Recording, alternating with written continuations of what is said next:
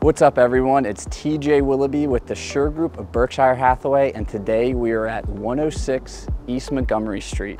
This massive three bed, four and a half bath sits in historic Federal Hill, has close to 3,000 finished square feet and a rooftop view you gotta see for yourself. Let's go check it out. As you step inside 106 East Montgomery, you'll immediately notice the open floor plan, the 12 foot tall ceilings, the custom kitchen with cherry cabinets, granite countertops, stainless steel appliances, and a standalone range, island, and breakfast bar. Right off the kitchen, you will find an additional living space with a gas fireplace and private patio. Venturing downstairs to the lower level, you'll discover a bonus living area, complete with another full bath, providing you with ample versatility.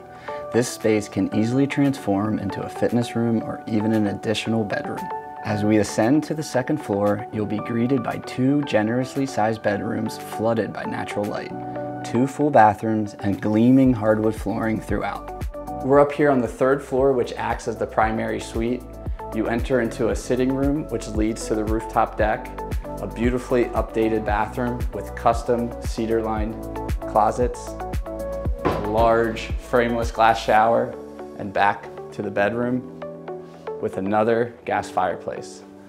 Thanks for checking out 106 East Montgomery Street with me today. If you know anyone looking to make the move to Federal Hill, this home has it all. Conveniently located to Camden Yards, M&T Bank Stadium, beautiful waterfront views, and steps away from Fed Hill Park.